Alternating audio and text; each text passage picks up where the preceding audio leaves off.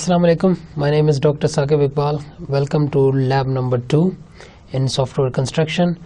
Today we're going to talk about programming in Eclipse. Uh, if you remember in the last lab we discussed about uh, programming with Eclipse. Um, we are actually looking at Eclipse like Eclipse is an IDE tool and uh, which is used to write Java code and to run Java code. تو پچھلی lab میں ہم نے دیکھا کہ eclipse کو آپ down load کیسے کر سکتے ہیں؟ پھر ایکلپس کی میں نے سورسز بتائے کہ کہاں سے ڈاؤن لوڈ کر سکتے ہیں۔ آپ نے یقیناً پچھلی لیب کے اندر ایکلپس کو ڈاؤن لوڈ بھی کر لیا ہوگا اور اس کو استعمال بھی کر دیا ہوگا۔ اگر آپ کو کوئی پرابلم آ رہی ہے جاوا کو ایکلپس کو رن کرنے میں، تو اس کی کچھ وجوہات یہ ہو سکتی ہیں کہ آپ کے اگر سسٹم میں جے ڈی کے نہیں ہے میں نے آپ کو بتایا تھا کہ اکلپس انسٹال کرنے سے پہلے آپ کو جاوا کا جے ڈی کے انسٹال کرنا پڑے گا۔ وہ آپ گوگل پہ جا کے اور J D K download لکھیں۔ آپ کو ریسنٹ ورژن مل جائے گا۔ آپ اسے ڈاؤن لوڈ کریں اور انسٹال کر دیں اپنے کمپیوٹر میں۔ اس کے بعد آپ ایکلپس کا جو لنک بتایا گیا تھا، اس پہ جائیں اور وہاں سے لنک پہ آپ کلک کر کے ڈاؤن لوڈ کریں ایکلپس اچھا اب اس کے اندر دو ورژنز آتے ہیں، ایک 32 بٹ کا ہوتا ہے اور ایک 64 بٹ کا ہوتا ہے۔ تو یہ بھی آپ خیال رکھیے گا کہ آپ کا کمپیوٹر کس کو سپورٹ کرتا ہے۔ فار ایگزامپل آپ کا 32 بٹ ہے تو آپ کو پھر 32 بٹ کلپس ہی ڈاؤن لوڈ کرنا پڑے گا۔ اس کو معلوم کرنے کا طریقہ بھی میں نے آپ کو بتایا تھا کہ آپ اپنے کمپیوٹر یا لیپ ٹاپ کی ڈیسک ٹاپ پہ جائیں اور وہاں کمپیوٹر کا آئیکن ہوگا، جس کے اندر مانیٹر بنا ہوتا ہے۔ ٹھیک ہے، کمپیوٹر کا آئیکن اس کے اوپر رائٹ کلک کریں اور اس کی جو لاسٹ آپشن ہے مینیو میں، وہ ہے پراپرٹیز پراپرٹیز پہ جائیں تو آپ کو اس کے متعلق سارا پتہ چل جائے گا کمپیوٹر کے۔ اور اس کے نیچے کہیں پہ بٹ کی آپشن بھی دی ہوئی ہوگی کہ آپ کا sixty four bit operating system ہے یا تھرٹی ٹو بٹ اچھا اس کے مطابق آپ ورژن ڈاؤن لوڈ کر لیں اور اس کو اچھا اس کے اندر میں نے آپ کو بتایا تھا کہ اکلپس میں جو اچھی خاصیت ہے وہ یہ ہے کہ آپ کو انسٹال نہیں کرنا پڑتا۔ ویسے تو یہ بڑی ہیوی فائل ہے ڈاؤن لوڈنگ میں یہ اتنا ٹائم لے لیتی ہے۔ لیکن جب آپ اس کو ڈاؤن لوڈ کر لیں، تو اب آپ کی آپ آپ کی اپنی مرضی ہے کہ آپ اس کو جس ڈائریکٹری میں رکھنا چاہتے ہیں، اس ڈائریکٹری میں سے ان پیک کر دیں۔ کیونکہ جو فائل آپ ڈاؤن لوڈ کریں گے، جب آپ اس پہ کلک کریں گے تو یہ آپ سے پوچھے گی کہ آپ کدھر اس کو ان پیک کرنا چاہتے ہیں یا ان زپ کرنا چاہتے ہیں۔ آپ اس کو ڈائریکٹری دیں گے سی میں دیں یا ڈی میں، کہیں پہ بھی رکھنا چاہتے ہیں، وہاں رکھ لیں۔ اور جب وہ ان پیک ہو جائے گا تو اس کے اندر اکلپس کے سمبل ہے، ایک بال سی ہے۔ اس کے، اس کی فائل بنی ہوگی جو کہ اپلیکیشن فائل ہے۔ اب جب وہ آپ اس کو ڈبل کلک کریں گے تو اکلپس آٹومیٹکلی آن ہو جائے گا۔ تو اچھا یہ ہوتا ہے کہ اس آئیکن کو جو کہ اپلیکیشن کا آئیکن ہے، اس کو آپ کاپی کر لیں اور اس کا شارٹ کٹ آپ ڈیسک ٹاپ پہ رکھ دیں۔ تو پھر جب آپ بھی، جب بھی آپ نے اکلپس لانچ کرنی ہو، تو ڈیسک ٹاپ پہ اس کے آئیکن کو کلک کر کے کر سکتے ہیں۔ جب ہم نے اکلپس پچھلے لیب میں دیکھا کہ اکلپس کو آپ جب سٹارٹ کر لیں، تو اس کے اندر آپ کو ورک سپیس بھی بتانی پڑتی ہے۔ آپ میں سے کچھ لوگوں کو شاید یہ پرابلم بھی آ رہی ہو کہ آپ کی ورک سپیس کدھر ہے اور آپ جو جو جاوا فائلز بنا رہے ہیں وہ کدھر سیو ہو رہی ہیں۔ تو یاد کریں کہ جب آپ نے ایک کلپس بنائی تھی تو اس میں سب سے پہلا ڈائلاگ باکس آیا تھا کہ آپ ورک سپیس کدھر بنانا چاہتے ہیں۔ اس میں بائی ڈیفالٹ جو ہوتا ہے وہ آئی تھنک مائی ڈاکومنٹس کے اندر بنتا ہے، لیکن آپ نے اگر اس کی ڈائریکٹری چینج کی ہے، تو پھر اس لوکیشن پہ جا کے دیکھیں جہاں آپ نے اس کی ڈائریکٹری دی ہے۔ اس کا اس ورک سپیس کے اندر آپ کا ایک فولڈر بنا ہوتا ہے ورک سپیس کے نام سے، اور اس کے اندر پیکیجز بنے ہوتے ہیں، جو کہ پیکیجز آپ نے اپنے سافٹ ویئر کے بنائے ہیں، اور ان پیکیجز کے اندر ہی آپ کی جاوا فائلز پڑی ہوتی ہیں۔ اچھا اس کے بعد ہم نے بہت سارے فیچرز دیکھے تھے۔ میں نے آپ کو بتایا کہ آپ پروجیکٹ کیسے بنا سکتے ہیں۔ پروجیکٹ کے اندر آپ کلاس کیسے بنا سکتے ہیں، ایک نئی کلاس کیسے بنا سکتے ہیں۔ اور پھر کلاس کے بعد آپ کیا کر سکتے ہیں کہ اس کے اندر مین میتھڈ آپ انکلوڈ کر سکتے ہیں، تو وہ آٹومیٹیکلی کلاس کا کوڈ آپ کے اپلیکیشن میں لکھا جائے گا۔ پھر میں نے آپ کو بتایا کہ وہ جو آپ کی آئی ڈی ای ہے اکلپس کی اس کے اندر ڈفرینٹ کمپوننٹس کی لوکیشن کیا ہے؟ ٹھیک ہے پیکیجز کہاں شو ہوتے ہیں؟ آپ اپنا کوڈ کہاں لکھ سکتے ہیں؟ پھر ساتھ میں آپ کے کوڈ کی حرارکی بنتی رہتی ہے، اس کا حرارکیکل پین ہے۔ پھر ہم نے دیکھا کہ اس کے اندر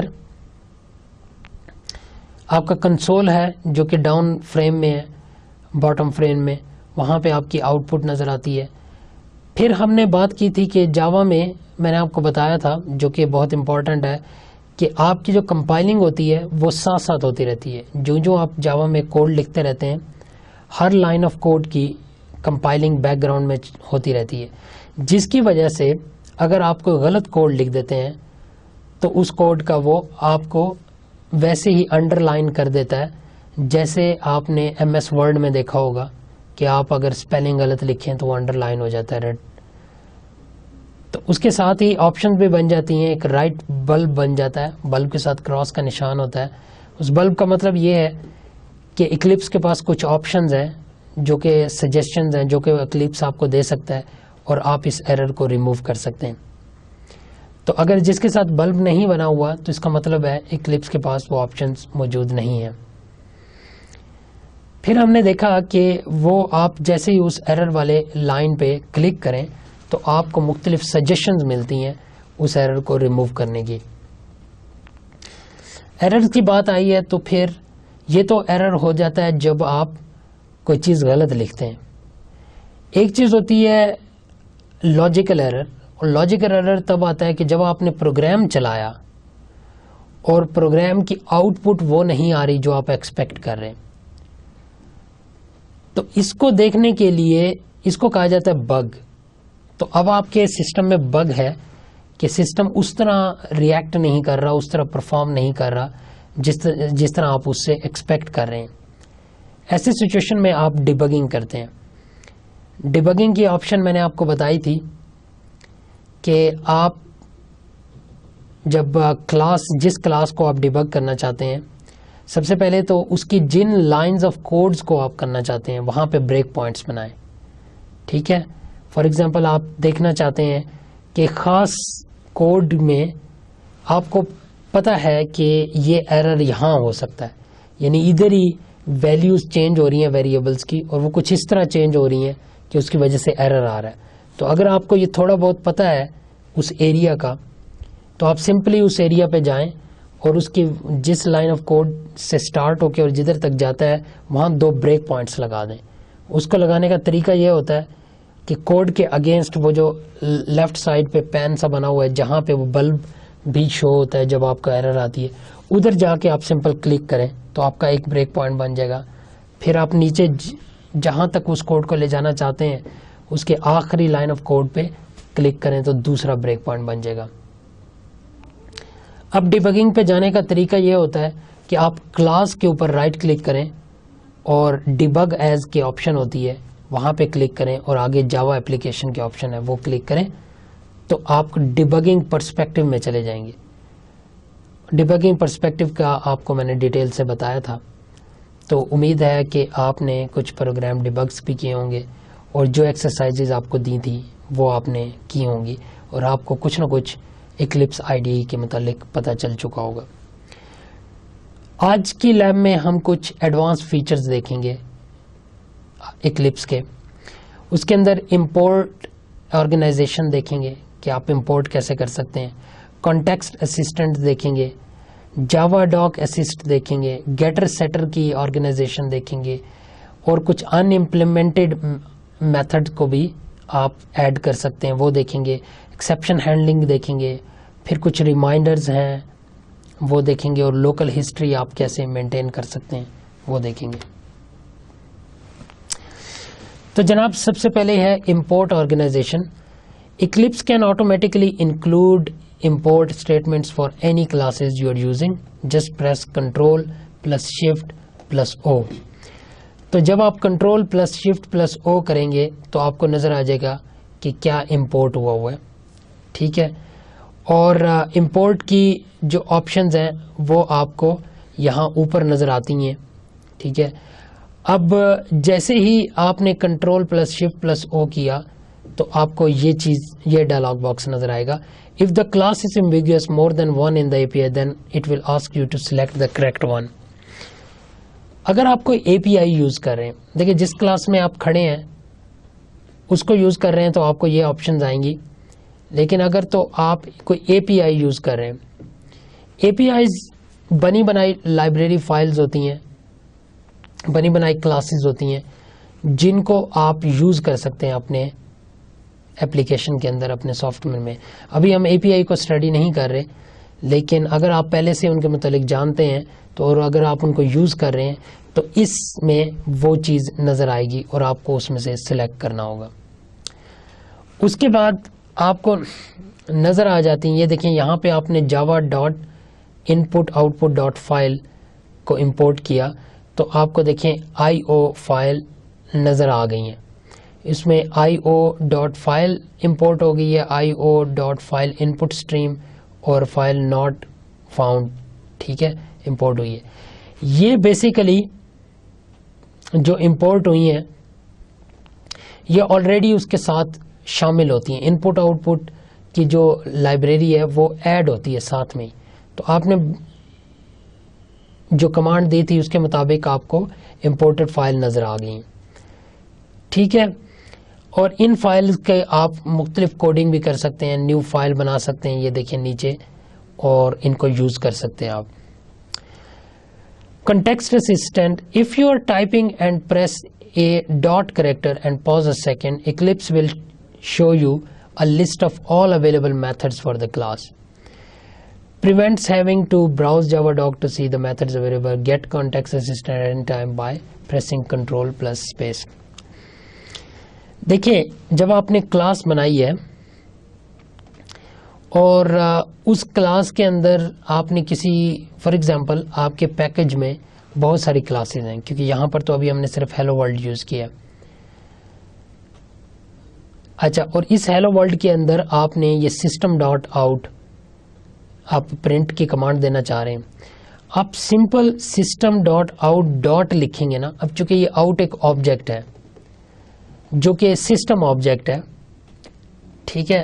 اور یہ آپ نے ڈیفائن نہیں کیا، یہ پہلے سے ڈیفائن ہے سسٹم کے اندر۔ تو آپ نے جیسے ہی آؤٹ ڈاٹ دبایا ہے، تو آؤٹ آبجیکٹ کے ساتھ جتنے میتھڈز ہیں جو اٹیچڈ ہیں یعنی ایک آبجیکٹ جو ہے، اب یہ آؤٹ جس کلاس کا آبجیکٹ ہے اس کلاس میں جتنے میتھڈز ہیں، وہ سارے آپ کو نظر آ رہے ہیں۔ صرف ڈاٹ لکھنے سے، کیونکہ آپ کو یاد ہوگا کہ کلاس کا آپ ایک آبجیکٹ بناتے ہیں اور اس کلاس میں جتنے میتھڈز ہوتے ہیں، وہ ڈاٹ لکھ کے، اس آبجیکٹ کے آگے ڈاٹ لکھ کے اور پھر ان میتھڈز کا نام لکھتے ہیں، تو وہ میتھڈ ایگزیکیوٹ ہو جاتے ہیں۔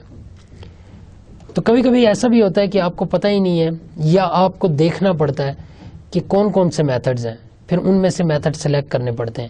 اکلپس کی خوبصورتی یہ ہے کہ آپ ایک آبجیکٹ بنائیں اور اس آبجیکٹ کا آپ نام لکھیں اور آگے ڈاٹ لکھیں تو وہ آبجیکٹ جس کلاس کا آبجیکٹ ہے، اس کلاس کے اندر جتنے میتھڈز ہیں، وہ آپ کو سارے یہاں پہ لسٹ میں نظر آ جائیں گے۔ اور ان کی خوبصورتی یہ ہے کہ ان کا پورا سگنیچر لکھا ہوا نظر آ جائے گا۔ یعنی ان کا نام کیا ہے اور وہ کتنے آرگیومنٹس لے رہے ہیں اور کس کس ٹائپ کے آرگیومنٹ لے رہے ہیں۔ تو ان میں سے آپ جیسے ہی کسی کو کلک کریں گے تو وہ آٹومیٹکلی اکلپس آپ کے لیے پیسٹ کر دے گا اس میتھڈ کا نام اور اس میتھڈ کے اندر جتنے پیرامیٹرز آپ نے پاس کرنے ہیں۔ ساتھ ساتھ اکلپس آپ کو یہ بھی بتائے گا کہ وہ پیرامیٹرز کس ٹائپ کے ہیں۔ فار ایگزامپل چار ٹائپ یعنی کریکٹر ٹائپ کے ہیں یا انٹ لکھا ہوگا یعنی انٹیجر ٹائپ کے ہیں یا فلوڈ لکھا ہوگا یا ڈبل لکھا ہوگا۔ تاکہ آپ اس کے اندر جو آرگومنٹس دیں، ان کی ڈیٹا ٹائپ بھی سیم ہو اور وہ کنفلکٹنگ نہ ہو۔ اچھا اگر تو یہ آپشن نہ ہو، تو آپ کیا کر سکتے ہیں؟ آپ کو اس پھر کلاس پہ جانا پڑے گا اور اس کلاس کے اندر ان میتھڈس کو دیکھنا پڑے گا۔ پھر ان میتھڈس کے جو ڈیٹا ٹائپس ہیں، ان میتھڈس کے اندر جو پیرامیٹرز پاس ہو رہے ہیں، ان کے ڈیٹا ٹائپس کو بھی دیکھنا پڑے گا اور پھر ان کو مینٹین کرنا پڑے گا، یاد کرنا پڑے گا، پھر آ کے یہاں پہ امپلیمنٹ کرنا پڑے گا۔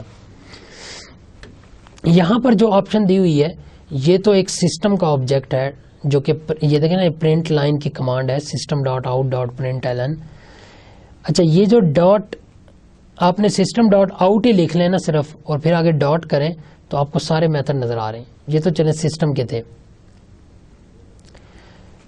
یہی چیز زیادہ افیکٹو ہوتی ہے جب آپ کے پیکج میں بہت ساری کلاسز ہوں۔ پانچ، چھ، دس کلاسز ہوں۔ پھر آپ مین کے اندر کسی بھی کلاس کا آبجیکٹ بناتے ہیں، جو کہ آپ کی پیکج کی کلاسز ہیں۔ ان میں سے کسی ایک کلاس کا آپ نے آبجیکٹ بنایا۔ اب اس کا کوئی میتھڈ آپ کال کرنا چاہتے ہیں، تو بجائے اس کے کہ اس میتھڈ اس کلاس کی باڈی میں جائیں اور اس کے میتھڈز کو دیکھیں۔ یہیں پہ اس آبجیکٹ کا نام لکھ کے آگے ڈاٹ لکھیں، تو اس کے اندر جتنے میتھڈز ہیں، وہ سارے آپ کو اس طرح نظر آ جائیں گے اور ان میں سے آپ کوئی بھی سلیکٹ کر سکتے ہیں۔ اچھا this is called context context تو یہ کانٹیکس کی انفارمیشن یعنی کانٹیکس کے متعلق اگر آپ کو کوئی ہیلپ چاہیے، تو there is an option that you can press control plus space جب آپ کنٹرول پلس اسپیس دبائیں گے، تو آپ کو آپشن کی ہیلپ بھی نظر آنی شروع ہو جائے گی۔ کہ اس کانٹیکس کو آپ کیسے یوز کر سکتے ہیں۔ تو اس کو کہا جاتا ہے کانٹیکس اسسٹ ٹھیک ہے؟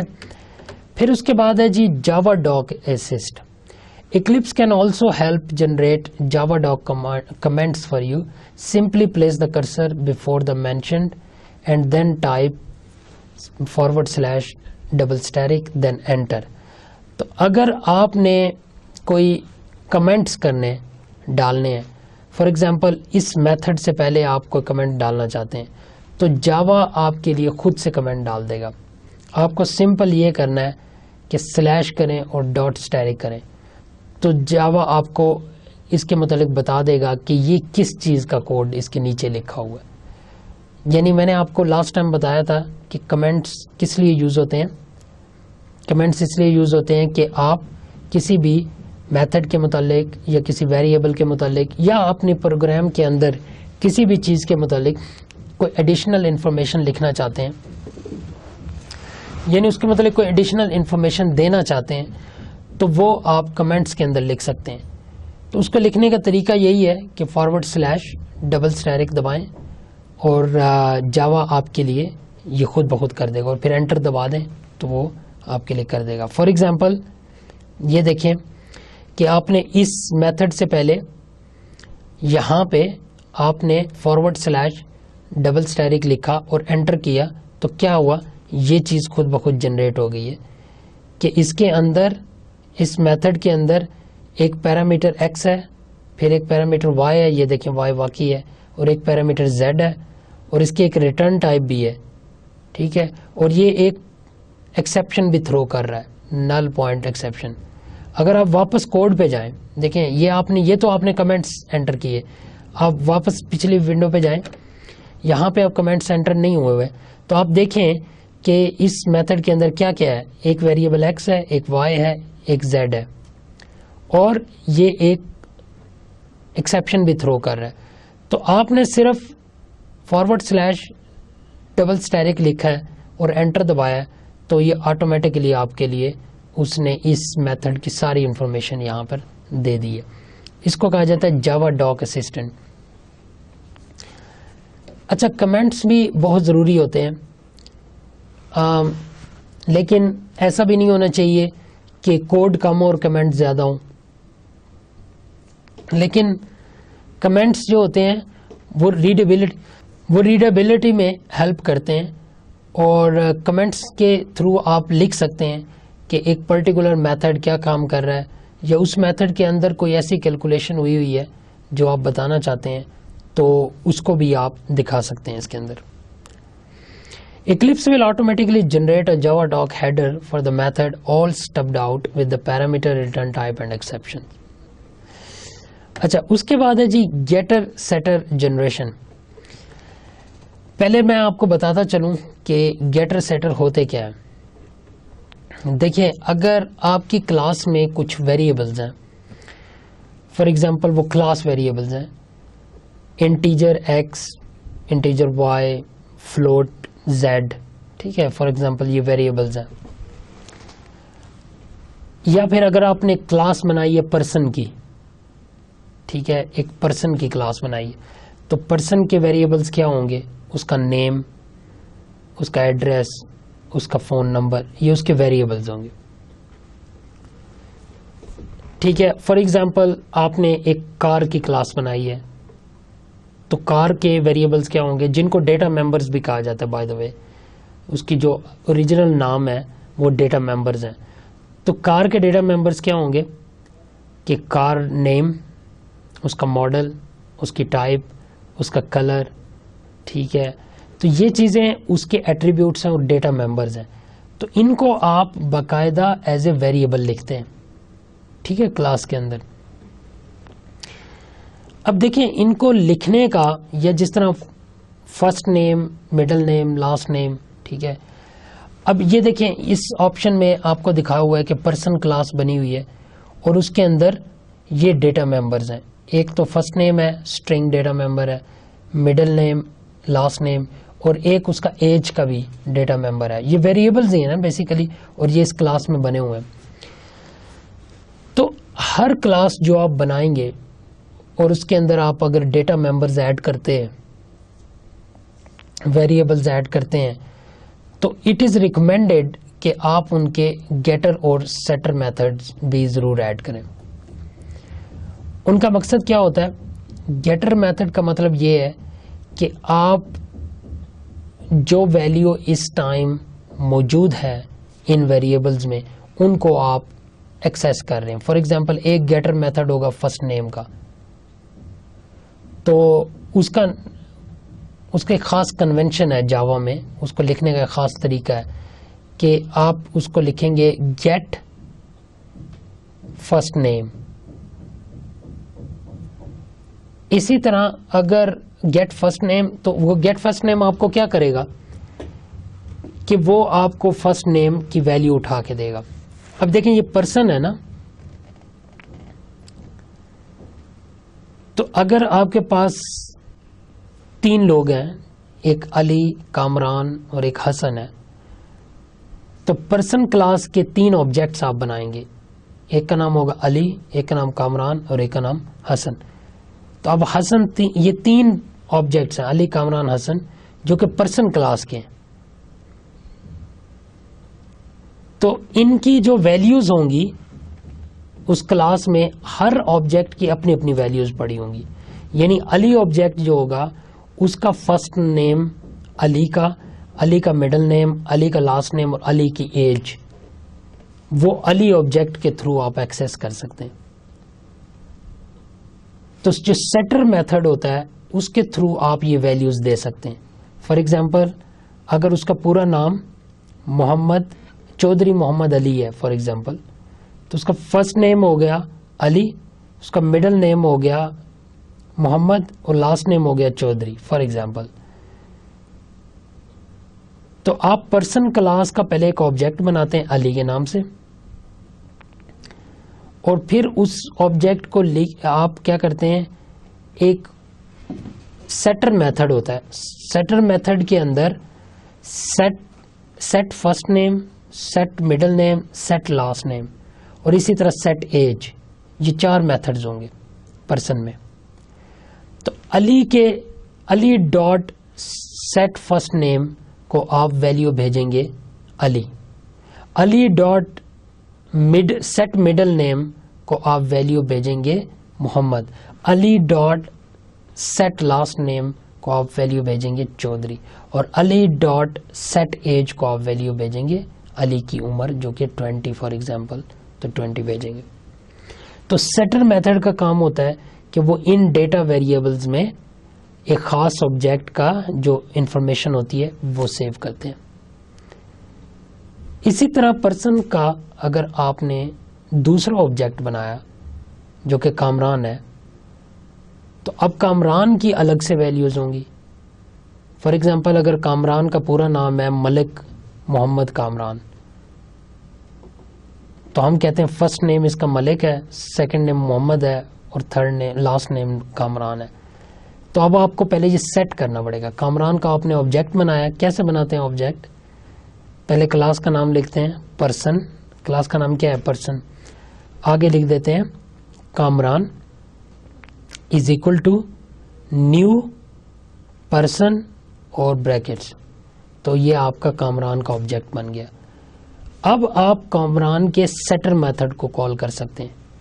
تو جس طرح علی کا سیٹر میتھڈ تھا، جس کا مقصد یہ تھا کہ علی سے ریلیٹڈ جو ڈیٹا ممبرز ہیں، ان کے اندر علی سے ریلیٹڈ انفارمیشن سیو کریں۔ اسی طرح اب آپ کامران کے لیے کریں گے۔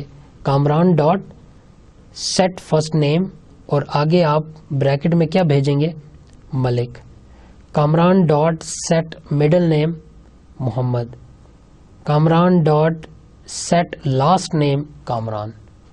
تو اب آپ ان تینوں ویریبل میں کامران کے آگے، پھر کامران ڈاٹ سیٹ ایج میں آپ اس کی ایج جو کہ 25 فائیو فار ایگزامپل ہے، تو وہ بھیج دیں گے۔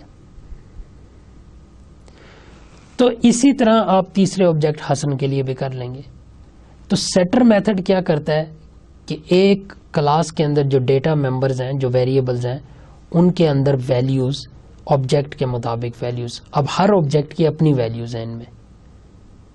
آپ دس آبجیکٹ بنا لیں، دس کی ڈفرینٹ ڈفرینٹ ویلیوز سیو کر دیں. پھر جیسے ہی اس آبجیکٹ کے تھرو آپ ان ویریبلس کو دیکھیں گے، تو اسی آبجیکٹ کی انفارمیشن آپ کو ملے گی. یہ بات سمجھ آ رہی ہے آپ کو؟ اچھا یہ تو ہو گیا سیٹر میتھڈ سیٹر میتھڈ کا کام کیا تھا؟ کہ وہ ان کے اندر ویلیو سیو کرتا تھا، اس کے مطابق سیٹ کرتا تھا ویلیو جس طرح یہ نام سے ہی پتا چل رہا۔ اب انہی ویلیوز کو اگر آپ ریڈ کرنا چاہتے ہیں، دیکھنا چاہتے ہیں، تو اس کے لیے آپ کو گیٹر میتھڈز بنانے ہوں گے۔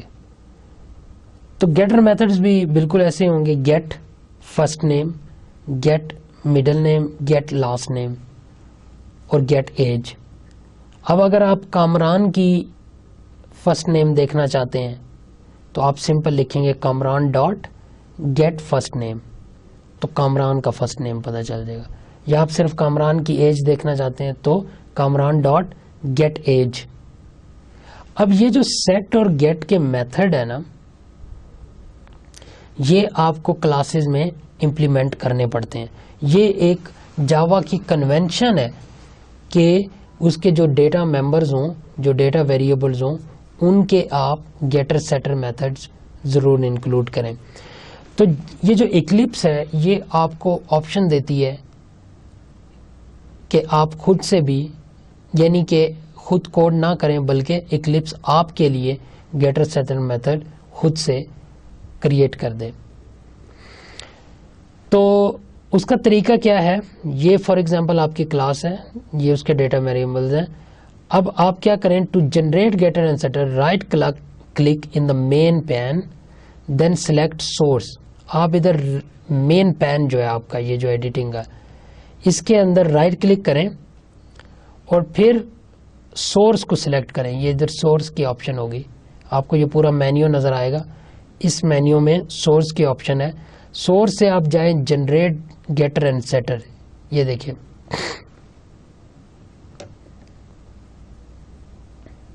تو اب اس کے اندر اور بھی آپشنز ہیں۔ آپ generate override implement methods بھی کر سکتے ہیں۔ Generate delegate method generate hash code and equal generate constructor generate constructor from super class اگر آپ آپ کے جو، یہ چونکہ آپ کی لیب ٹو چل رہی ہے، آپ کے لیکچرز کے دوران میں نے آپ کو بتایا ہوا ہے کہ ڈیلیگیٹ میتھڈ کیا ہوتا ہے ہیش کوڈ کیا ہوتا ہے۔ ایکولز میتھڈ کیا ہوتا ہے؟ اور اگر ابھی ابھی تک آپ نے نہیں پڑھا، تو آپ کے لیٹر لیکچرز کے اندر وہ ضرور بتایا ہوا ہے۔ تو اور بلکہ اوور رائڈ کا میکنزم بھی آپ کو لیکچرز میں بتایا ہوا ہے۔ اوور رائڈ میتھڈز کون سے ہوتے ہیں؟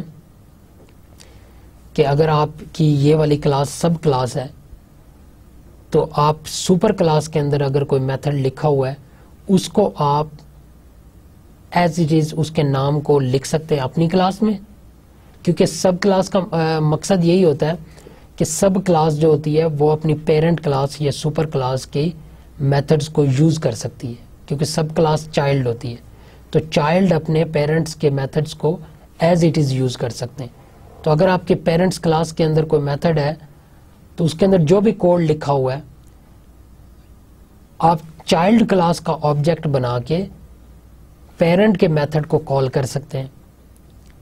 حالانکہ وہ میتھڈ آپ کی کلاس میں نہیں لکھا ہوا یعنی چائلڈ کلاس میں نہیں لکھا ہوا، لیکن چائلڈ کے آبجیکٹ کے تھرو پیرنٹ کو کال کر سکتے ہیں۔ یہی انہیریٹنس ہوتی ہے۔ لیکن اوور رائڈنگ کیا تھی؟ اوور رائڈنگ ہوتی ہے کہ اگر آپ اسی میتھڈ کی امپلیمنٹیشن ڈفرنٹ کرنا چاہتے ہیں چائلڈ کلاس میں، کیونکہ ضروری تو نہیں ہے کہ آپ پیرنٹ کے میتھڈ کو ایز اٹ از یوز کرنا چاہیں۔ اس کی میں مثال یہ دیتا ہوں کہ آپ کے جو پیرنٹس ہیں، ان کے پاس جو چیزیں ہیں، وہ آپ یوز کر سکتے ہیں۔ آپ ان کے بچے ہیں، آپ ان کی چیزیں یوز کر سکتے ہیں۔ لیکن فار ایگزامپل آپ کے والد کی کار ہے، آپ اسے استعمال کرنا چاہیں تو آپ کر سکتے ہیں۔ لیکن یہ بھی ہو سکتا ہے کہ آپ چاہیں آپ اس کو چینج کریں۔ فار ایگزامپل آپ اس کا کلر چینج کرنا چاہتے ہیں۔ اور کیا پتہ آپ اس کے اندر اسٹیریو سسٹم لگانا چاہتے ہیں جو کہ آپ کے والد نے نہیں لگایا ہوا تھا۔ تو اب یہ بھی آپشن موجود ہے۔ آپ کیا کریں گے؟ اس کار کو لیں گے اور اس کار کے اندر اپنی مرضی سے چینجز کر دیں گے۔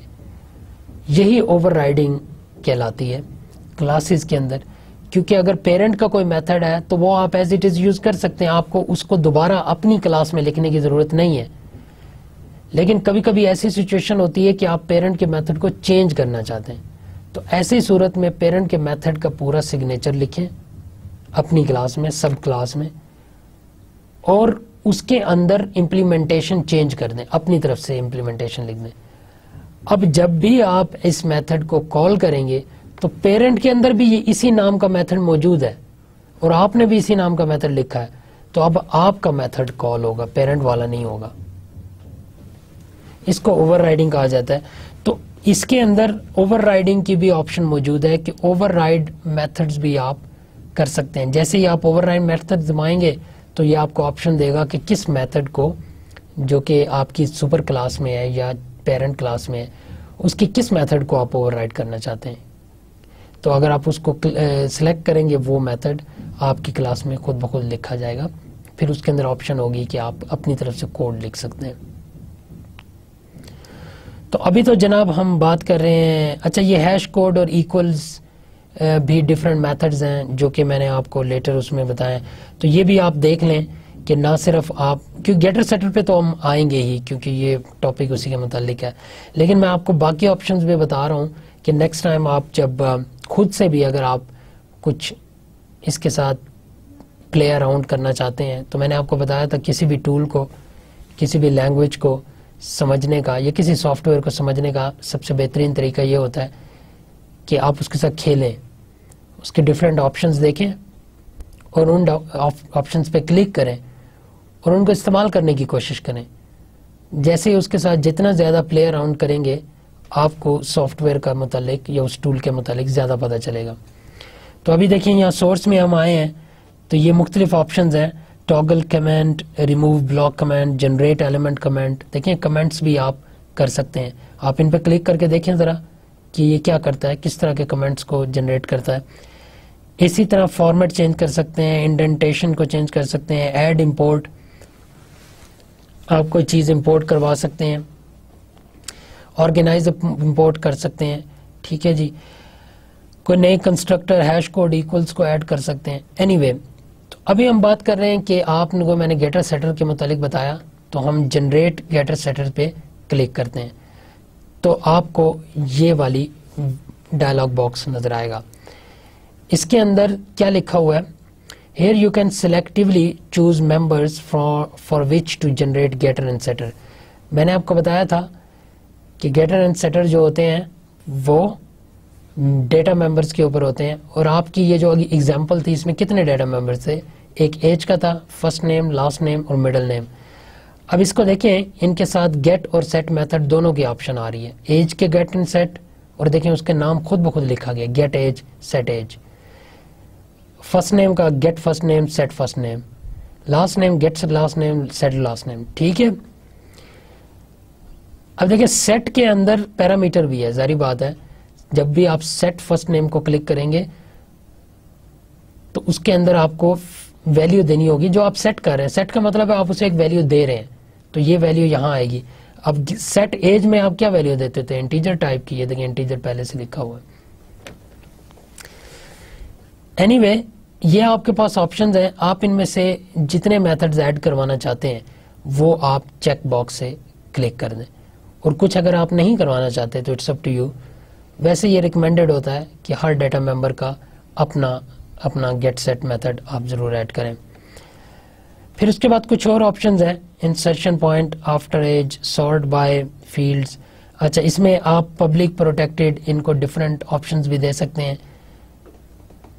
اور نارملی um, ویسے تو یہ دیکھیں بائی ڈیفالٹ کی پبلک پہ ہوگا لیکن بہتر یہ ہوتا ہے کہ آپ اس کو پرائیویٹ بھی کر سکتے ہیں۔ اگر آپ چاہتے ہیں کہ آپ کا ہی آبجیکٹ صرف گیٹ کرا سکے یا سیٹ کرا سکے۔ لیکن چونکہ گیٹ میتھڈ جو ہوتا ہے، وہ اکثر باقی کلاسز والے بھی، باقی کلاسز کے آبجیکٹ آپ کے کلاس کے گیٹ میتھڈس کو یوز کرتے ہیں۔ کیونکہ گیٹ میتھڈ ہوتا ہے ڈیٹا لانے کے لیے، تو وہ آپ کو ڈیٹا دیتا ہے۔ ٹھیک ہے؟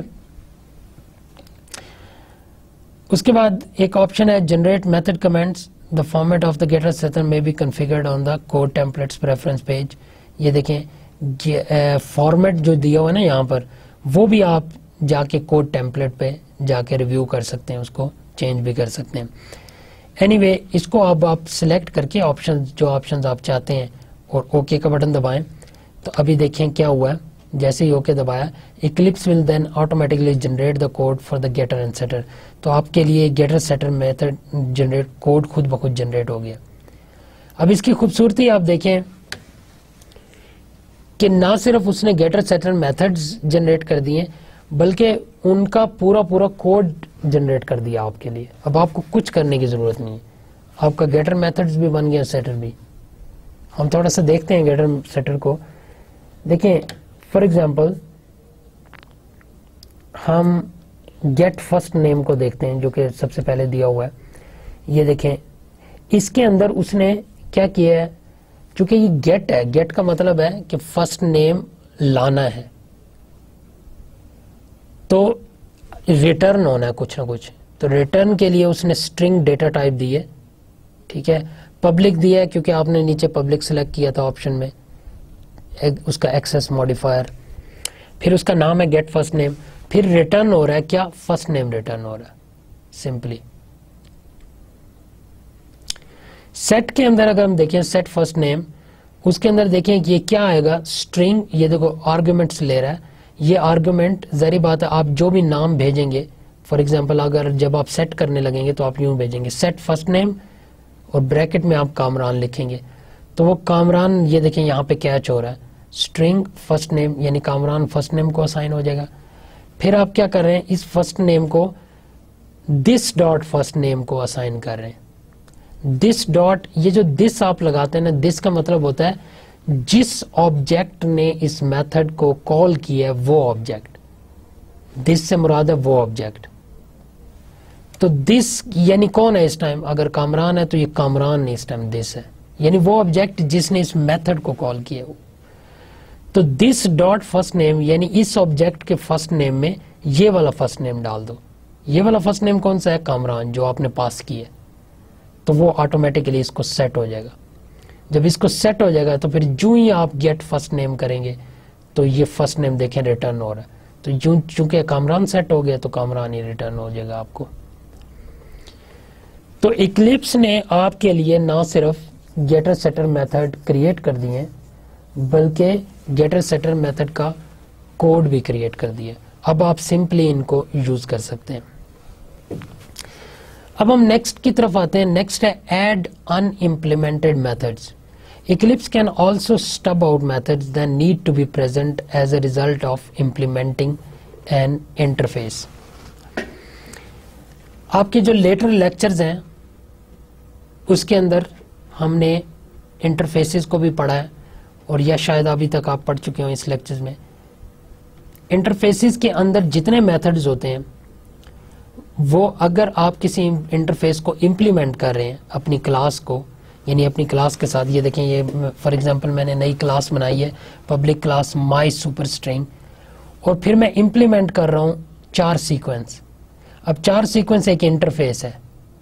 تو انٹرفیس کو امپلیمنٹ کرنے کا طریقہ ہوتا ہے، آپ یہ والا کی ورڈ لکھتے ہیں امپلیمنٹس اپنی کلاس کے نام کے آگے امپلیمنٹس لکھتے ہیں اور پھر انٹرفیس کا نام لکھتے ہیں۔ اب انٹرفیس ایک ایسی چیز ہے کہ اس کے اندر جتنے میتھڈز لکھے ہوئے ہیں، ان سب میتھڈز کو اب آپ کو یہاں پہ امپلیمنٹ کرنا پڑے گا۔ اس کا مطلب یہ ہے کہ اس کے اندر اگر چار میتھڈز ہیں، تو ان چار میتھڈز کا کو آپ کو یہاں پہ بنانے پڑیں گے چاروں میتھڈز اور ان کا کوڈ لکھنا پڑے گا۔ تو یہ والا جو میکنزم ہے ایڈ ان امپلیمنٹڈ میتھڈ یہ آپ کی ہیلپ کرتا ہے اس چیز کو کرنے میں۔ یہ دیکھیں۔ آپ my string you can use the quick fix light bulb to add the interface unimplemented method to the class. دیکھیں، یہ جیسے ہی آپ نے یہ کام کیا، جیسے ہی آپ نے کسی انٹرفیس کو امپلیمنٹ کروایا، تو یہ والا بلب آٹومیٹکلی جنریٹ ہو جاتا ہے۔ اور اس کے نیچے یہ والا ایرر مارک بھی آ جاتا ہے۔ یہ ایرر کیوں آتا ہے؟ حالانکہ ابھی کوئی ایرر نہیں ہوا۔ اور ابھی آپ نے امپلیمنٹ بھی نہیں کیا۔ یہ صرف آپ کو بتانے کے لیے ہے کہ اگر آپ نے امپلیمنٹ لکھ دیا ہے، تو اب چار سیکوینس جو انٹرفیس ہے، اس کے اندر جتنے میتھڈز ہیں، وہ اب آپ کو امپلیمنٹ کرنے ہیں۔ تو یہ بلب جو ہے، وہ بلب کا مطلب ہے، اب آپ کو یہ آپشن بتا سکتا ہے۔ اور آپشن یہ کیا بتائے گا؟ یہ دیکھیں، یہ یہ بتائے گا کہ چار سیکوینس کے اندر یہ والے دو میتھڈ ہیں۔ سوری چار سیکوینس کے اندر دو آپشن آپ کو وہ دے رہا ہے۔ یا تو ایڈ ان امپلیمنٹڈ میتھڈ کریں یا make type my super string abstract اگر تو آپ امپلیمنٹ نہیں کرنا چاہتے کسی میتھڈ کو، تو پھر آپ نے چاہے انٹرفیس کو امپلیمنٹ کر لیا ہو۔ اگر اس سے پہلے آپ نے ایبسٹریکٹ لکھ دیا کلاس سے پہلے، تو پھر آپ کو انٹرفیس کے میتھڈز کو امپلیمنٹ کرنے کی ضرورت نہیں ہے۔ کیونکہ آپ کو میں نے بتایا ہے اور اگلے لیکچرز میں اور بتایا جائے گا کہ ایبسٹریکٹ کلاسز وہ ہوتی ہیں جن کو امپلیمنٹ کرنے کی ضرورت نہیں ہے۔ وہ صرف سسٹم کا ایک اوور ویو دینے کے لیے ہوتی ہیں۔ تو اگر آپ نے ایبسٹریکٹ لکھ دیا تو پھر یہ دیکھیں یہ آپ کو دونوں آپشن دے رہا ہے کہ چونکہ آپ نے اسے امپلیمنٹ کر رہے ہیں تو یا تو آپ اس کے ان امپلیمنٹڈ میتھڈس کو یہاں پہ امپلیمنٹ کریں۔ یہ ان کو ان امپلیمنٹڈ اس لیے کہہ رہا ہے کیونکہ یہ یہاں پہ نظر نہیں آ رہے امپلیمنٹ نہیں ہوئے۔ تو یا تو آپ ان کو امپلیمنٹ کریں یا پھر مائی سپر اسٹرنگ سے پہلے ایبسٹریکٹ لکھیں۔ دیکھیں یہ آپ کو دونوں ٹو کوئک فکسز اویلیبل تو یہ کتنا زبردست ٹول ہے کہ یہ آپ کو اس طرح کی کسی بھی چیز کے متعلق ایکسٹرا انفارمیشن دیتا ہے۔ نہ صرف ایکسٹرا انفارمیشن دیتا ہے، بلکہ وہ آپ کے لیے خود سے کام بھی کرے گا۔ تو اب ان دو آپشنز میں آپ نے again Eclipse will go add and stub out the method for us اگر آپ نے یہ پہلا کلک کر دیا ایڈ ان امپلیمنٹ میتھڈ اگر آپ اس پہ کلک کریں گے تو آپ کے لیے وہ آٹومیٹکلی جو چار سیکوینس کے اندر میتھڈز ہیں ان کو وہ آٹومیٹکلی پیسٹ کر دے گا دیکھیں ابھی اس نے کیا کیا ہے کہ اس نے ایک یہ والا میتھڈ چار آرٹ ایک میتھڈ ہے لینتھ اور ایک میتھڈ ہے سب سیکوینس یہ ان میتھڈز کو اس نے خود بخود یہاں پہ ڈال دیا۔ اور ان کے اوپر اس نے ایک چیز بھی لکھ دی ہے اوور رائڈ کیونکہ انہی نام سے یہ والے میتھڈ چار سیکوینس کے اوپر کے اندر پڑے ہیں۔ آپ کیا کر رہے ہیں؟ آپ ان کو دوبارہ سے لکھ رہے ہیں تو یہ اوور رائڈنگ ہو رہی ہے۔ ٹھیک ہے؟ تو اب اس کے نے خود بخود اب دیکھیں، اس کا دوسرا طریقہ کیا تھا؟ اگر اکلپس یہ آپ کے لیے نہ کرتا تو اس کا طریقہ یہ تھا کہ چار سیکوینس کلاس جہاں پہ پڑی ہوئی ہے، اس کو آپ kholte اس کے اندر جتنے میتھڈز تھے کیونکہ چار سوری کلاس نہیں ہے چار سیکوینس چار سیکوینس ایک انٹرفیس ہے۔ آپ انٹرفیس کو کھولتے اور اس کے اندر جتنے میتھڈز پڑے ہوئے ہیں، ان کے نام دیکھتے، ان کے ریٹرن ٹائپس دیکھتے ان کو امپلیمنٹ کرنے کا طریقہ دیکھتے مطلب امپلیمنٹ کرنے کا طریقہ یہی ہے کہ آپ ان کے سگنیچرز دیکھتے اور ان کے ریٹرن ٹائپ دیکھتے اور پھر آ کے آپ یہاں پہ لکھتے اور ان کو امپلیمنٹ کرتے۔ لیکن اکلپس نے آپ کے لیے کیا کر دیا ہے؟ کیونکہ آپ نے یہاں پہ کلک کیا ایڈ ان امپلیمنٹ میتھڈس انہوں نے آپ کے لیے یہ تین میتھڈس خود سے پیسٹ کر دیے۔ لیکن اس کے اندر باڈی خالی ہے۔ یہ دیکھیں return zero return zero return null کیونکہ یہ کچھ نہ کچھ ریٹرن کر رہے ہیں، تو آپ کو یہ ریٹرن خود سے بتانے پڑیں گے بعد میں۔ پلس یہ دیکھیں یہاں پہ باڈی خالی ہے اور اس کو کہا جاتا ہے سٹب یعنی یہ auto generated method stub generate کر دیا آپ کے لیے۔ لیکن اس کی باڈی کے اندر اب آپ میتھڈ خود سے لکھیں گے۔ بات سمجھ آئیے آپ کو؟ ساتھ ہی یہ میتھڈز آپ کی کلاس کا حصہ بھی بن گئے ہیں خود بخود۔ یہ دیکھیں یہاں پہ بھی آ جائیں گے، اگر آپ اس پلس نشان کو کلک کریں گے۔ اور یہ دیکھیں، یہ جو ہائرارکی آتی ہے، اس کے اندر بھی یہ سارے میتھڈز آٹومیٹکلی آپ کے لیے آ گئے ہیں۔ اچھا اب ایکسیپشن ہینڈلنگ ایک اور ایگزامپل ہے، یہ تو تھا اکلپس نے آپ کے لیے ان امپلیمنٹڈ میتھڈ کر دیے۔ پھر ہوتی ہے ایکسیپشن ہینڈلنگ ایکسیپشن کے متعلق بھی میں نے آپ کے لیٹر لیکچرز میں ایکسیپشنز کے متعلق بتایا۔ ایکسیپشنز کیا ہوتی ہیں کہ اگر تو اگ آپ کوئی ایسا کوڈ ہے، کوئی ایسا میتھڈ آپ نے لکھا ہے، کوئی ایسا کوڈ لکھا ہے آپ نے، کہ آپ یہ سمجھ رہے ہیں کہ اس کے اندر کوئی نہ کوئی ایرر آ سکتا ہے۔ اور اس ایرر کی وجہ سے یا تو سسٹم ہینگ ہو سکتا ہے کریش ہو سکتا ہے، یا سسٹم میں کوئی پرابلم آ سکتا ہے۔ تو اس چیز کو آپ ہینڈل کر سکتے ہیں ایکسیپشن سے۔ وہ کیا ہوتا ہے؟ فار ایگزامپل میں ایک چھوٹی سی مثال دوں کہ آپ نے ایک میتھڈ لکھا ہے، وہ میتھڈ کیا کرتا ہے؟ کہ وہ کوڈ ریڈ کرتا ہے کسی فائل سے۔ فار ایگزامپل آپ نے ایک سمپل ٹیکسٹ فائل میں کوئی کوڈ لکھا ہوا ہے۔ آپ چاہتے ہیں کہ آپ کا پروگرام ون بائی ون وہاں سے کوڈ اٹھائے ٹیکسٹ اس ٹیکسٹ فائل سے، اور اس کو آپ استعمال کر رہے ہیں اس کوڈ کو، اس ٹیکسٹ کو، اس کوڈ کو، جو بھی لکھا ہوا ہے اس فائل میں۔ اب دیکھیں اس کے لیے آپ نے پورا ایک میتھڈ بنا دیا۔ وہ میتھڈ کیا کر رہا ہے؟ فائل ریڈ کر رہا ہے۔ ابھی آپ کو پریشان ہونے کی ضرورت نہیں ہے، کیونکہ اگر فائل ریڈنگ آپ کو نہیں آتی تو پریشان نہ ہو۔ فائل ریڈنگ کے بھی الگ سے، یہ دیکھیں، یہ file F is equal to new file پھر آگے فائل کا نام دیں۔ تو یہ آٹومیٹکلی ایک آبجیکٹ بن گیا ایف جو کہ اس فائل کا آبجیکٹ ہے۔ اب ادھر سے اس آبجیکٹ کو یوز کرتے ہوئے آپ اس فائل سے ڈیٹا ون بائی ون اٹھا سکتے ہیں۔ وہ ایک پوری الگ ایک آپ جائیں تو گوگل کے اوپر how to read file in Java آپ لکھ سکتے ہیں تو آپ کو سارا کوڈ فائلنگ کا آ جائے گا۔ وہ کوئی بڑی بات نہیں ہے۔ مقصد آپ کو سمجھانا ہے ایکسیپشن کے متعلق۔ تو اگر ایسی صورت میں آپ یہ سمجھتے ہیں کہ ایسا بھی تو ہو سکتا ہے، آپ نے تو پورا کوڈ لکھ دیا کہ فائل سے کوڈ اٹھائے اور اس کو ایگزیکیوٹ کرے۔ کیا پتا وہ فائل ہی خالی ہو، اس کے اندر کوئی ڈیٹا ہو نہ ہو، یا وہ فائل ایگزسٹ ہی نہ کرتی ہو، یا اس فائل کی ڈائریکٹری یعنی وہ فائل کہیں آپ نے مختلف جگہ پہ رکھ دی ہے، جس کو جاوا ایکسیس ہی نہیں کر سکتا۔ تو ایسی صورت میں آپ نے جو سارا کوڈ لکھا ہے اس فائل کے اوپر کام کرنے کا، تو وہ کوڈ تو نہیں چلے گا، وہ تو ہینگ ہو جائے گا، وہ تو کریش ہو جائے گا۔ تو ایسی اس طرح کا کوڈ جس میں ایرر آنے کا خدشہ ہو یا ایرر آنے کا امکان ہو، ایسے کوڈ کے اوپر آپ ایکسیپشن ہینڈلنگ کر دیتے ہیں۔ اس کو آپ ٹرائی کیچ میں لکھتے ہیں۔ ٹرائی کیچ کا مطلب یہ ہے کہ ایک ٹرائی لکھتے ہیں۔ اس کے اندر آپ اس کوڈ کو لکھتے ہیں، یہ میں آپ کو دکھاتا ہوں۔ اگر یہاں پر ہم نے لکھا ہوا ہے، یہ دیکھیں۔ میں تھوڑا آگے آ گیا ہوں، میں پچھلی سلائڈز پہ دوبارہ جاؤں گا آپ کو۔ ٹرائی کے اندر وہ والا کوڈ لکھتے ہیں جس کوڈ کے اندر کوئی نہ کوئی خدشہ ہو کہ اس کے اندر ایرر آ سکتا ہے اور پھر کیچ کے اندر اس ایرر کو کیچ کرتے ہیں۔ فار ایگزامپل یہاں پہ جو ایرر آئے گا، وہ کیسا ایرر آ سکتا ہے؟ یعنی فائل ناٹ پریزنٹ آ سکتا ہے یا فائل کے اندر نو ڈیٹا آ سکتا ہے۔ تو آپ ٹرائی لکھیں۔ اب دیکھیں، آپ کو نہیں پتا اگر تو آپ بڑے ایکسپرٹ پروگرامر نہیں ہیں، تو آپ کو تو نہیں پتا کس طرح کا ایرر آ سکتا ہے، پھر میں اس ایرر کو کیسے ہینڈل کروں؟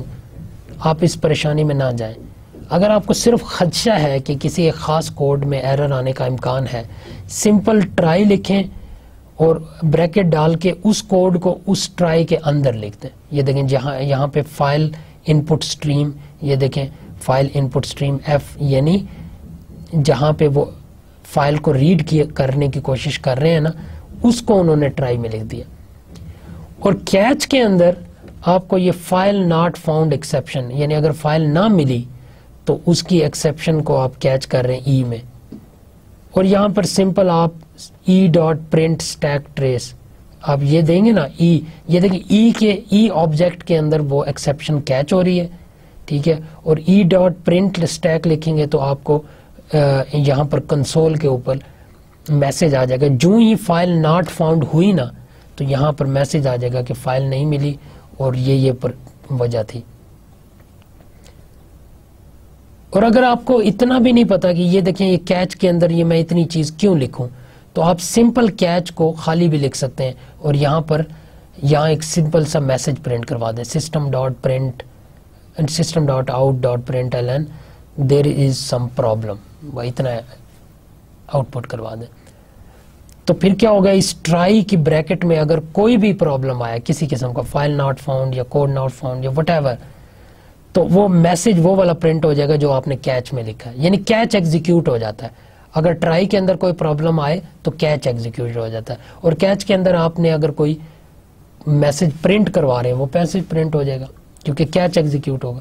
اور اگر ٹرائی کے اندر کوئی پرابلم نہ آیا تو پھر کیچ ایگزیکیوٹ نہیں ہوگا۔ تو وہ ٹرائی والا میتھڈ ہی ایگزیکیوٹ ہوگا۔ بات سمجھ آئیے آپ کو؟ یہ اسے کہا جاتا ہے ایکسیپشن ہینڈلنگ اچھا ہم واپس چلتے ہیں۔ تو ہم دیکھ رہے تھے کہ اس کے اندر، دیکھیں، یہ خود بخود بلب بھی آ گیا کہ یہ آپ نا فائل ان پٹ اسٹریم کروانے کی کوشش کر رہے ہیں۔ تو ہو سکتا ہے، یہ جیسے ہی آپ اس پہ کلک کریں گے تو آپ کو یہ دیکھیں، بلب کی وجہ سے دو آپشنز آ گئی وہ دو آپشنز کیا پڑھیں ایڈ تھروز ڈکلریشن یا سراؤنڈ ود ٹرائی کیچ یہ آپ کو دونوں آپشن دے رہا ہے۔ اب دیکھیں، یا تو ٹرائی کیچ ہے، جو کہ ابھی میں نے آپ کو سمجھایا، یا تھروز کی آپشن بھی ہوتی ہے۔ وہ بھی میں آپ کو سمجھاتا ہوں۔ تو یہ دونوں کی آپشن دے دی یا تو آپ اسے امپلیمنٹ کریں یا اسے۔ اگر آپ نے تھروز کو امپلیمنٹ کیا، تو پھر آپ کی وہ جو نام ہے نا اس کے ساتھ throws file not found exception خود بخود یہ ایڈ ہو جائے گا۔ اس کا مطلب کیا ہوتا ہے کہ اگر فائل نہ ملی نا تو خود بخود یہ ایکسیپشن تھرو ہو جائے گا اور آپ کو آپ کا سسٹم کریش نہیں ہوگا ہینگ نہیں ہوگا۔ بلکہ کنسول کے اوپر میسج آ جائے گا کہ فائل نہیں ملی۔ تو یہ تو تھروز کے اوپر آٹومیٹکلی اس نے فائل ناٹ فاؤنڈ خود بخود امپلیمنٹ کر دیا اور تھروز کا ورڈ بھی لکھ دیا۔ ویسے تھروز اور ٹرائی کیچ ایک جیسے ہی ہیں۔ تھروز میں سمپل وہ خود بخود ایکسیپشن تھرو کرتا ہے اور میسج آ جاتا ہے اور ٹرائی کیچ میں آپ خود سے اس کو ہینڈل کر سکتے ہیں۔ دیکھیں، تھروز آپ تب لکھتے ہیں جب آپ کو اتنا ایکسپرٹ آپ یوزر نہیں ہے ٹھیک ہے؟ وہ خود ہی وہ جو کرے کرے۔ لیکن ٹرائی کیچ میں آپ خود سے ہینڈل بھی کر سکتے ہیں اس ایرر کو۔ تو یہ تو جناب تھروز کا آ گیا۔ اچھا اگر تو آپ ٹرائی کیچ کے آپشن کو کلک کریں گے تو وہ آپ کے لیے خود بخود یہ دیکھیں اس نے یہ انسرٹ کر دیا یہ آٹو جنریٹڈ کیچ بلاک ہے۔ یعنی آپ نے اس پہ کلک کیا دوسری آپشن پہ۔ سراؤنڈ وتھ ٹرائی کیچ جب دوسری پہ کلک کیا تو یہ والا سٹب جنریٹ ہو گیا۔ یہ آپ کے لیے خود بخود ٹرائی اس نے اس لائن کو، جس لائن میں پرابلم آ رہا تھا، اس نے ٹرائی میں ڈال دیا اور کیچ میں اس نے یہ ڈال دیا بات سمجھ آئیے آپ کو؟ اب یہاں پہ یہ جو ای ہے نا ای ڈاٹ پرنٹ یہ آپ خود سے ای کو ہینڈل کر سکتے ہیں۔ یہ تھوڑی ایڈوانس پروگرامنگ ہے کہ کس قسم کا ایرر آ رہا ہے، وہ ایرر یہاں پہ اس کا ایک آبجیکٹ بن رہا ہے ای اور ای آبجیکٹ کو یوز کرتے ہوئے آپ ڈفرینٹ میتھڈ کر سکتے ہیں۔ یہ ہم اگر ہم نے ایڈوانس ایکسیپشن پڑھی تو اس کے اندر ہم دیکھیں گے۔ تو یہ تو تھا جناب ایکسیپشن ہینڈلنگ کا اس کے بعد کچھ ٹاسکس ہیں۔ Eclipse allows you to insert reminders into your code and stores them for you to come back and revisit them reminder کی آپشن بھی موجود ہے۔ یہ دیکھیں make sure there is something in argument zero Eclipse recognise the following tags inside comments to do fix me and X X X you can even add your own custom task through the preference menu تو اس طرح کے fix می یا to do یہ دیکھیں to do کا آ گیا fix می کا آ گیا، یہ خود سے اس طرح کے کمنٹس یہ جنریٹ کرتا ہے۔ اب دیکھیں یہ آپ کے مین میں یہ دیکھیں open and read file argument zero ہے نا۔ تو اس نے خود سے کمنٹ جنریٹ کیا کہ make sure there is something in argument zero کہ آپ نے یہاں پر کچھ نہ کچھ ڈالنا ہے۔ وہ آپ کو خود سے بتا رہا ہے۔ تو اس طرح کے بھی ریمائنڈرز بھی وہ آپ کو ڈال دیتا ہے۔ جب وہ کوئی نیا کوڈ آپ کے لیے خود سے جنریٹ کرتا ہے نا، تو دیکھیں یہ اس نے خود سے جنریٹ کیا تو اس نے یہ ٹو ڈول ایڈ کر دی۔ آٹو جنریٹڈ کیچ بلاک خود بتا رہا ہے آپ کو۔ یہاں پہ اس نے خود جنریٹ کیا تو اس نے فکس می کا جنریٹ کر دیا۔ To add a table of all reminders in all of your source code you can add the task view by clicking on window show view task یہ جو ونڈو ہے نا فائل مینیو میں، اس کو click کریں شو view کو، اور پھر ٹاسک کے اندر آپ خود سے بھی کچھ جنریٹر کچھ ریمائنڈرز ایڈ کر سکتے ہیں۔ تو آپ خود سے یہاں جائیں، اس کو کلک کریں اور دیکھیں یہ آپ کو کیا آپشنز دیتا ہے۔ This neatly displays all tasks in tabular form تو وہ آپ نے جو ونڈو کے اندر یہ شو ویو ٹاسک کو کیا ہے، تو یہ دیکھیں آپ کو یہ چیزیں نیچے نظر آ گئی ہیں۔ کہ آپ کے ٹاسک کون کون سے ہیں؟ ایک تو فکس می ہے اور ایک ٹو ڈو ہے۔ یہ دو دیکھیں آٹومیٹکلی یہاں پر ہے نا، ان دونوں کی انفارمیشن یہاں آ جائے گی۔ اب آپ کہیں گے کہ یہ تو یہاں پر نظر آ رہے ہیں، تو پھر ادھر کرنے کی ضرورت کیا ہے؟ کیونکہ جب آپ کے پاس ہنڈریڈ لائنز آف کوڈز ہوتی ہیں، بہت زیادہ اس طرح کے ہوں گے ریمائنڈرز تو اس صورت میں آپ ان کو اکٹھے دیکھ سکتے ہیں۔ کیسے؟ ونڈوز میں جائیں شو ویو میں جائیں اور ٹاسک میں جائیں۔ ٹھیک ہے جناب؟ اس کے بعد ہے جی local history Eclipse maintains a local history of file version which can be accessed by right clicking on the class then selecting compare with local history آپ اپنی کلاس پہ جائیں کمپیئر ود کو کلک کریں اور پھر لوکل ہسٹری کو click کریں تو آپ کو یہ چیز نظر آ جائے گی۔ Previous saved revisions are displayed in the history pane یہ پریویس سیوڈ ہے. لوکل ہسٹری مطلب یہ جو آپ نے اس سے پہلے، کیونکہ ابھی آپ نے چینجز کر دی ہیں۔ لیکن اس سے پہلے جو آپ نے سیو کیا تھا، یہ دیکھیں اس کا ٹائم بھی نظر آ جائے گا سارا ڈیٹ بھی نظر آ جائے گی، اور یہ اس کا پریویس ہے کہ پریویس آپ نے اس طرح سیو کیا تھا۔ Double click revision to view in the built and different اب آپ اس کو ڈبل کلک کریں گے تو آپ کو آپ اسی کے اوپر بھی کام کر سکتے ہیں۔ اب یہ دیکھیں، یہ ریویژن کے ٹائمز بھی ہیں، یہ ڈفرنٹ ڈویژن کے۔ آپ ان میں سے کسی ٹائم پہ کلک کریں تو آپ کو پتہ چل جائے گا کہ پچھلی دفعہ جب آپ نے سیو کیا تھا تو اس کی کنڈیشن کیا تھی۔ یہ بڑا اچھا ہے۔ کیونکہ آپ سیو کرتے ہیں، پھر اس کے اندر چینجز کرتے ہیں۔ تو اگر آپ دیکھنا چاہتے ہیں کہ پچھلی سیو میں وہ کس طرح کا نظر آتا تھا، تو آپ اس طرح جا سکتے ہیں۔ تو یہ تو تھا جناب ہمارا لیب ٹو تو لیب ون اور لیب ٹو انکلوڈنگ ہم نے اکلپس کا انٹروڈکشن دیکھا اکلپس کے ڈفرنٹ فیچرز دیکھے۔ اب ہم اس میں ڈفرنٹ پروگرامنگز uh, بھی کریں گے فیوچر کے اندر۔ تو میں امید کرتا ہوں کہ ان دو لیبس کو دیکھتے ہوئے اکلپس میں پروگرامنگ آپ کے لیے بہت آسان ہو جائے گی۔ تو بینیفٹس کیا ہیں اکلپس کے؟ ایک تو کوڈ کمپلیشن ہے، ٹھیک ہے کوڈ کو کمپلیٹ کرواتا ہے، خود سے اور کچھ نئی چیزیں بھی ایڈ کرتا ہے۔ فاسٹر ہے، ٹھیک ہے، خود بخود کمپائل ہو رہا ہے بیک گراؤنڈ میں۔ رن کرنا بہت فاسٹر ہے۔ اوپن سورس بھی ہے اوپن سورس کی وجہ سے فری بھی ہے۔ آپ کو نیا پلگ ان بنا کے اس کے اندر ایڈ کر سکتے ہیں کیونکہ یہ اوپن سورس ہے۔ ایکسٹینسیبل ہے۔ آپ نئے پلگ انس کو آسانی سے اس کے اندر ایکسٹینڈ کروا سکتے ہیں۔ اچھا ڈس ایڈوانٹیج بھی ہیں کہ پریٹی ہیوی ویٹ اب یہ بہت ہیوی ہے۔ جب آپ اس کو اپلوڈ کریں گے تو آپ کی ریم میں یہ کافی سپیس لے گا۔ ہارڈ ڈسک میں یہ بھی اٹ سیلف کافی سپیس لیتا ہے جب آپ اس کو ڈاؤن لوڈ کرتے ہیں۔ لیکن آج کل تو ہارڈ ڈسک اور ریم اتنی ہیوی آ رہی ہیں کہ یہ پھر بھی اتنا ہیوی ویٹ نہیں ہے۔ کیونکہ اس کا فائدے جو ہیں وہ اتنا زیادہ ہے۔ کہ یہ ہیوی ویٹ اتنا بڑا اوور ہیڈ نہیں ہے۔ ریکوائر جے آر ای تو آپ کو جے آر ای یا جے ڈی کے پہلے سے انسٹال کرنی پڑتی ہے، میں آپ کو بار بار بتا رہا ہوں۔ تو وہ آپ لازمی کریں۔ اس کے بعد ایکلپس کو رن کریں۔ پھر لرننگ کرو ہے یعنی اس کو چونکہ یہ اتنا بڑا ہے اور اس کے اندر اتنے فیچرز ہیں کہ اس کو لرن کرنا ٹائم کے ساتھ ہی آتا ہے۔ یعنی اس کو استعمال کرنا ٹائم کے ساتھ ہی آتا ہے۔ آپ وقتاً فوقتاً اسے لرن کرتے ہیں۔ اسے سمجھنا اتنا آسان نہیں ہے، کیونکہ ابھی میں نے آپ کو فیچرز بتائے ہیں اور میں نے آپ کو مین مین فیچرز بتائے ہیں۔ تو میرے خیال میں میں نے آپ کو ابھی تک ون پرسینٹ فیچر بھی نہیں بتائے۔ پریشان نہ ہو یہ ون پرسینٹ جتنے میں نے بتائے ہیں، اگر آپ یہ بھی یوز کر لینا، تو آپ بڑے آرام سے اکلپس کے اندر پروگرامنگ کر سکتے ہیں، ان کی ڈبگنگ کر سکتے ہیں اور بڑے اچھے کوڈ آپ چلا سکتے ہیں۔ ون پرسینٹ میں نے اس لیے کہا ہے کہ اس کے اندر اتنے زیادہ آپشنز ہیں۔ آپ دیکھ سکتے ہیں کہ ہم نے اوپر کے مینیوز کھولے اور ان کے اندر ہم نے چند آپشنز جو کہ مین مین تھی، جو کہ ایک پروگرام کو افیکٹولی رن کرنے کے لیے ضروری ہیں، وہ ہم نے دیکھی ہیں۔ لیکن اس کے اندر بے تحاشا اور بھی آپشن ساتھ میں موجود ہیں۔ تو کہنے کا مقصد ہے کہ آپ جا سکتے ہیں، ان آپشنز کو دیکھ سکتے ہیں۔ پلے اراؤنڈ کریں اس کے ساتھ، ٹھیک ہے؟ آپ جتنی آپشنز کو کلک کریں گے، دیکھیں وہ کیا کام کرتی ہیں۔ ٹھیک ہے، ان کے ساتھ آپ لرننگ آپ کی جلدی ہوگی فاسٹ ہوگی، اگر آپ زیادہ آپشنز کو خود سے استعمال کریں گے۔ تو یہ تو تھا جی آج کا ہمارا لیب اور یہ لیب یہیں پہ ختم ہوتا ہے۔ اس کے ساتھ کچھ ایکسرسائزز ہیں۔ میں امید کرتا ہوں کہ وہ آپ ایکسرسائزز کریں گے اچھے طریقے سے، اور اس کو سمجھنے کی کوشش کریں گے۔ یہاں پہ آج ہمارا لیب ختم ہوتا ہے۔ نیکسٹ لیب میں ہم نئے ٹاپک کے ساتھ ملیں گے۔ تب تک کے لیے اجازت دیجیے۔ اللہ حافظ۔